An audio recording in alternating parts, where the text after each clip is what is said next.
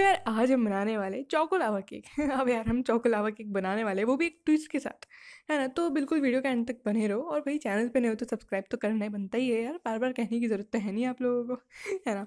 बस कर देना और लाइक शेयर सब्सक्राइब बस। और क्या? है ना?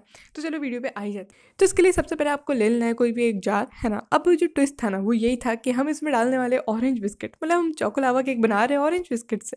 तो चलो देखते हैं इसका फ्लेवर कैसा आता है। एंड तक बने रहो। तो अब देखो, वैसे अगर आपके पास चॉकलेट बिस्किट हो या ओरियो बिस्किट हो तो ले सकते हो, आराम से लो। मतलब आराम से नहीं, वो ही लेना है वैसे तो आपको। मेरे पास था नहीं तो मैंने ये लिया है। मैं एंड तक आपको टेस्ट भी बता दूँगी तो एंड तक बने रहो बस, है ना? तो अब आपको इसके लिए मैंने ना यहाँ पे बाउंस का जो ऑरेंज बिस्किट आता है ना, बस मैंने पाँच रुपये का था ना, वो मैंने दो ले ली दस रुपये का बना दिया मैंने, चौकलावा केक, है ना? तो अब इसको मैंने अच्छे से पीस लिया, अब मैंने यहाँ पे दूध लिया, अब दूध, अब मैं ये क्यों कर रही हूँ?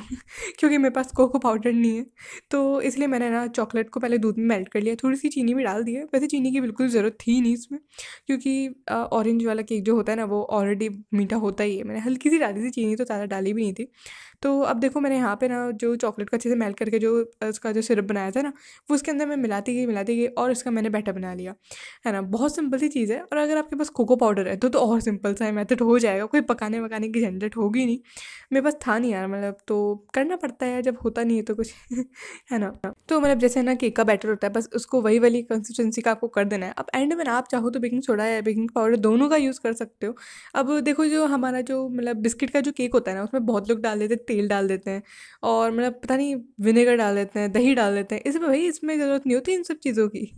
है ना? ये जो बिस्किट का केक होता है ना, ये बहुत ईजी होता है। मैदे के केक में ना बहुत सारी चीज़ों की ज़रूरत होती है बट इसमें बिल्कुल ज़रूरत होती नहीं है इतनी। इतनी मतलब तेल वेल तो डालो ही मत यार। बिस्किट बनाने में तो क्या क्या लगा है मतलब? है ना? बताओ आप ही, क्या लगा है उसके अंदर? तेल तो लगा ही होगा। तेल नहीं बटर लगा होगा, कुछ तो लगा होगा ना।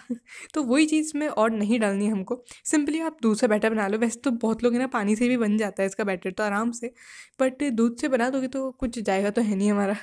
तो बस मैंने बना दिया। और है ना? तो देखो, यहाँ पे मैंने ना बेकिंग सोडे का यूज़ किया है। कोई भी एक यूज़ कर सकते हो, आराम से बन जाएगा। ऐसा नहीं है कि दोनों ही चीज़ों की ज़रूरत पड़ती ही पड़ती है। इनो हो तो भी बेस्ट है है ना? इनो हो तो बहुत ज़्यादा ही बेस्ट है। इनो तो यार पता नहीं यार मतलब क्या ही मस्त फुला देता है केक को।